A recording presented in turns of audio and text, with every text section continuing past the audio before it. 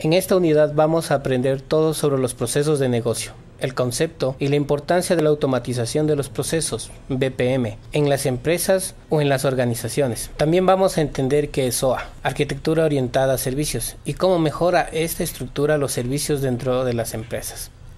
Definiremos la importancia que tienen las reglas de negocio dentro de la estructura de SOA y BPM de las empresas gestionadas por procesos. Finalmente, empezaremos a utilizar herramientas de diseño y modelado de los procesos de negocio y definiremos los principales elementos que debe aprender para empezar a desarrollar sus propios procesos.